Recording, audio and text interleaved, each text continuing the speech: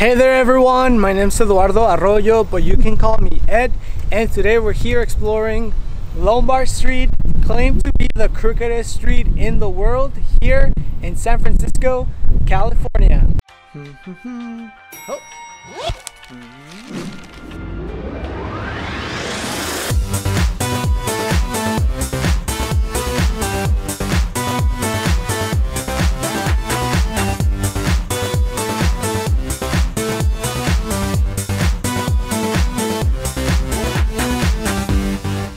This video I'm doing today is part of a series of videos I'm doing of cool locations around San Francisco. Due to the COVID-19 situation, I decided not to travel far, but instead explore the city that I live in. So that is why I'm here, you guys, exploring Lombard Street, claimed to be the crookedest street in the world. I don't know how truthful that is, but we'll just go with that for this video. First, I want to share a little bit about the history of this place. Then I want to go through it and share some of the cool views that you can get if you decide to visit this place. Not only that, but I also want to share some really interesting and cool facts with you guys. So if you guys are interested, come with me.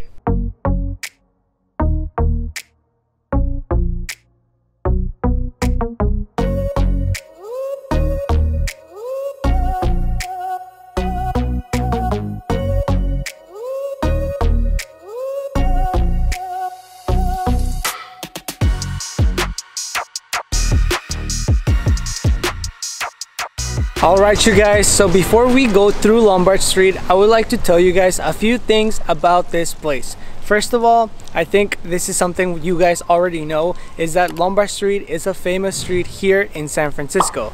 Duh. Lombard Street has two segments, one going west and the other one going east. The one going west actually takes you all the way to the Golden Gate Bridge as it is part of US Route 101. The one going east actually takes you all the way to the Embarcadero which is another popular location here in San Francisco. And like I said earlier, I already made a video on both of those places so if you guys are interested, make sure to check the description down below. What truly makes this place so popular is the very steep one block section with not one, not two, three, four, five, six, seven, but but eight sharp turns. That sounds intense. Because of that, this place is claimed to be the crookedest street in the world and it receives around 2 million people here every year with up to 17,000 people showing up per day on busy summer weekends. That is wild. All right, you guys, let's make our way there. But you could imagine back then when the street was quote unquote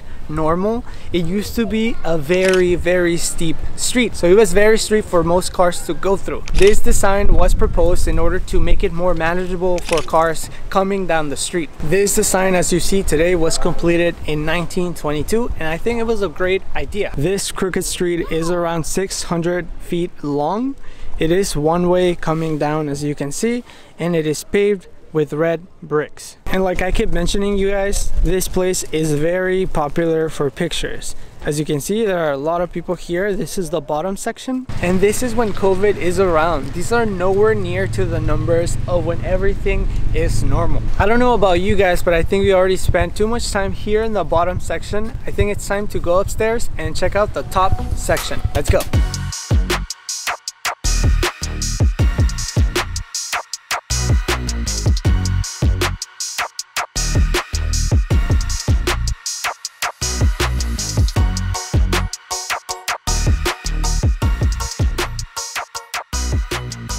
And as we make our way to the top section, you guys, I think it would be good for me to share a few fun facts with you guys. First of all, do you guys know that this is actually a residential area? And check it out. As you can see, there are houses or apartments, I don't know what these are, on both sides of the street. Isn't that crazy? Imagine living right next to a tourist attraction. That would be kind of annoying sometimes.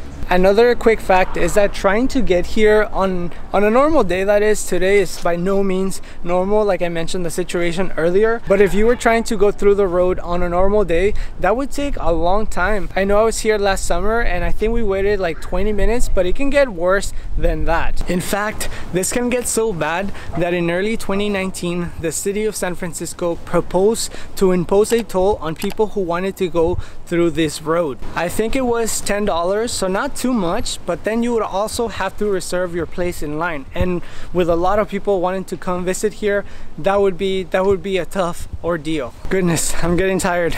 But uh, as soon as we get to the top, you guys, we're almost there. I think I just have this next flight of stairs. I'll tell you guys about the last fact of today.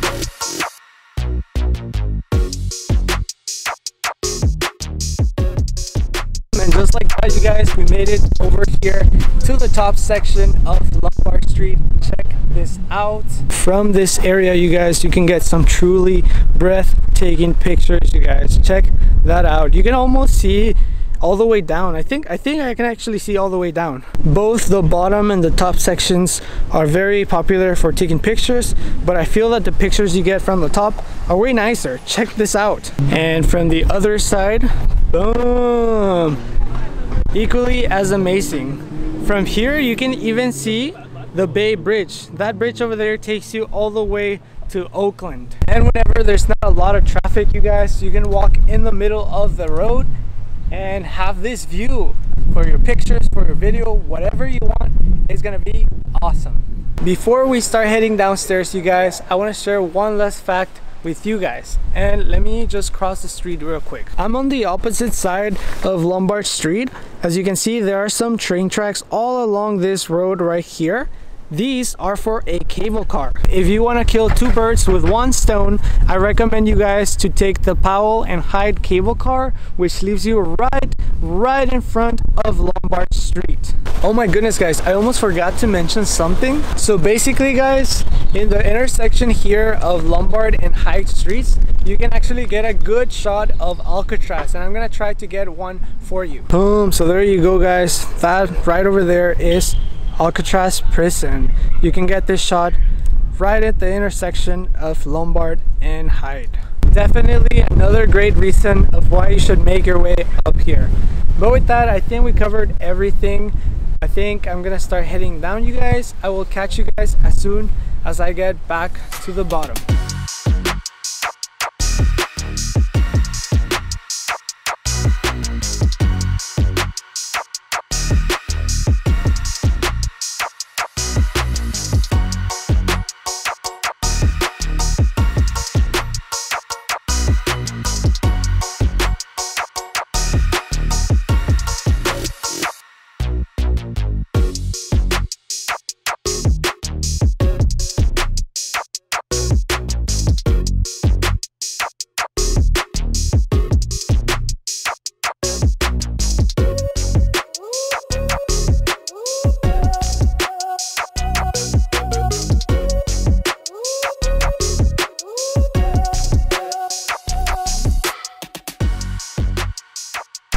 Just like that, you guys, we made it back here, back to the bottom where this whole thing started.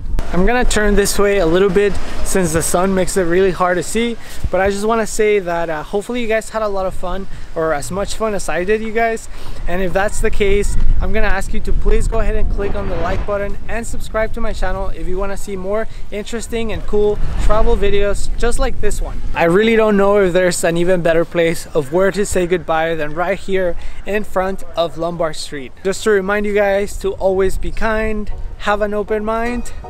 I'll see you next time.